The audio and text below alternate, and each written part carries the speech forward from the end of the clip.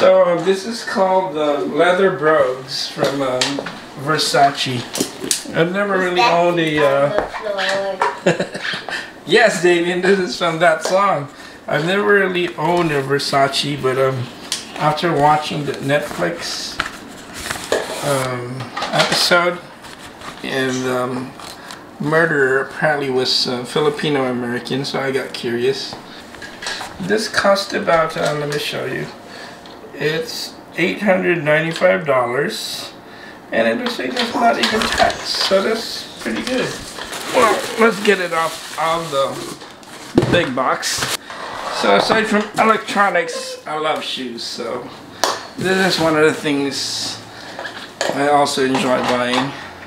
Out of all the collections, this is the most, well, this is the least uh, flamboyant one because most of Versace stuff, they're really, really, I don't want to say the word, but I I'd rather say flamboyant before I get some hate messages.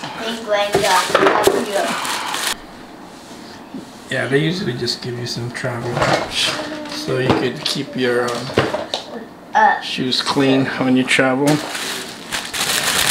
Uh, just more fluff packaging. I don't know what's in this little envelope, but let's try and open it. Let's just be a receipt.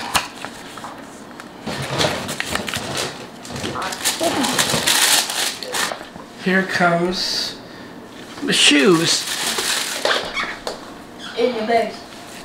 In my bag. So let's see if I can show you why I like this pair.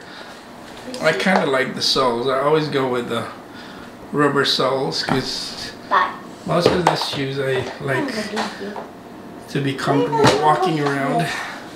Up, up, up, up, up, up, up, up, up.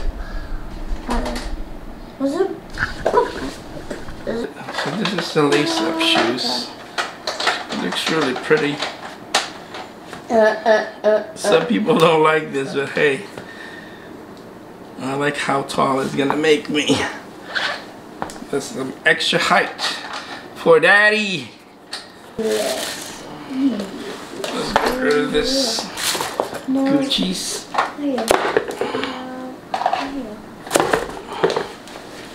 Oh.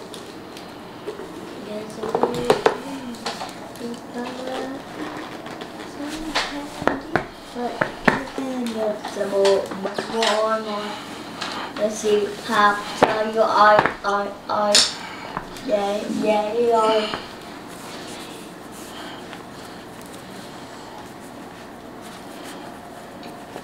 That feels great.